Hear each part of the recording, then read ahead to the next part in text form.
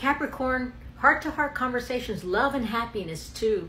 You might be having a hard time balancing life and career, so try to keep your focus on balance this week. This is a week of growth, new opportunities, and new financial beginnings.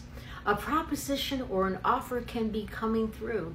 You are finally through a process that will reap rewards. Don't give up. There might be a contract that will be given to you to consider. There's something about to end. So persevere, don't give up. A big, difficult situation is going to be finally over. It's a sigh of relief. You are starting over again. Forget about who has done you wrong, the pain. It's over and you have arrived. One day you will be grateful.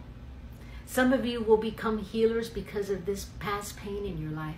Expect the unexpected, a turn of events. New love might be coming in really quickly, even if you're not even looking for it.